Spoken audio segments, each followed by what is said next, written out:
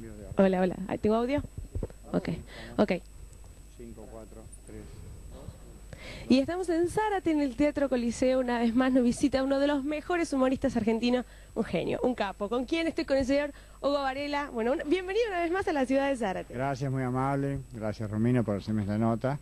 Y este y sé que están millones de almas de espectadores del otro lado de ese ojo mágico. Y bueno, ¿qué hacemos? Bueno, la pregunta del millón, ¿cómo hace usted para crear estas obras de arte? Pues yo apelo a la inspiración, siento como una pulsión creativa. Este, mira, la verdad que no sé bien, porque es como tratar de explicar el mecanismo de lo creativo.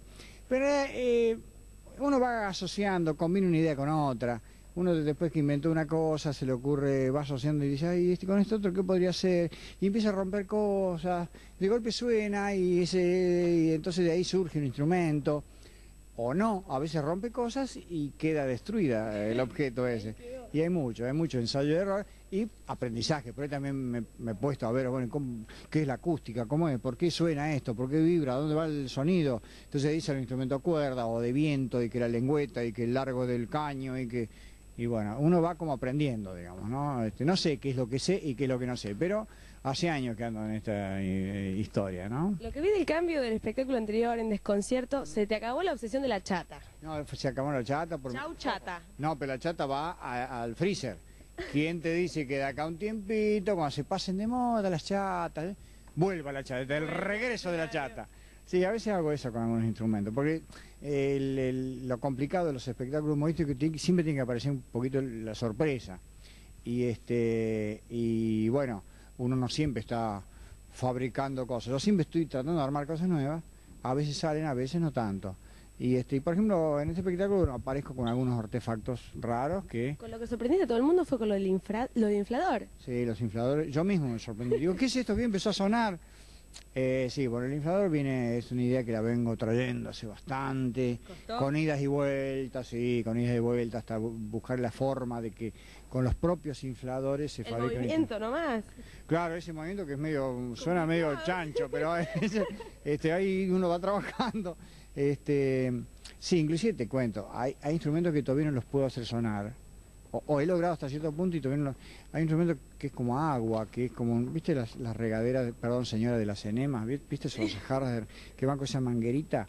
Bueno, esto va a una especie de tubo de vidrio que lleva agua. Entonces yo subiendo con esto, va, su- eh, va subiendo y bajando el nivel del agua, entonces va dando sonidos distintos. Ahí solo se le ocurre. Bueno, todavía no logré dominar ese arte, o sea, suena, pero no logro tocar nada con eso todavía. Entonces hay instrumentos que por ahí están, quedan a mitad de camino, ¿viste? O sea, y capaz que el año que viene suena y sale, ¿no? ¿Cuál es el instrumento más raro que llegaste a usar en un espectáculo? ¿O que construiste? Mira, esto lo usé en, en, en televisión en Chile, lo, lo hice lo hice una sola vez, una, una rareza absoluta, con una zanahoria, sí señora, zanahoria común, una zanahoria. Eh, yo hacía una, le hacía como un, con un cañito, como un, le hacía adentro un, un- como un me- mechado, vendría a ser, y entonces le, le sacaba como un tubito de adentro, de la propia zanahoria, entonces con eso le ponía como una especie de silbatito acá, y, y la zanahoria... y iba el silbato. Cla- Y le- con el mismo tubito ese que yo lo hacía como un émbolo así, sonaba la zanahoria como si fuera una flauta.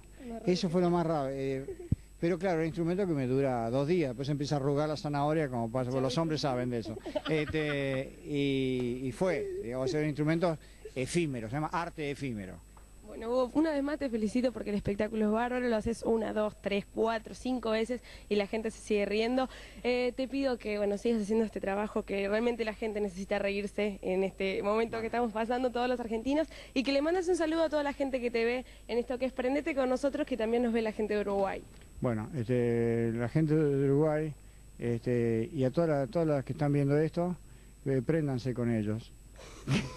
préndanse con ellos porque ahí está la cosa. Y este, bueno, y conserven la, risa hasta los momentos más difíciles. Este, hagan, tienen que fijarse como objetivo hacer reír a alguien, como sea, a los golpes aunque sea.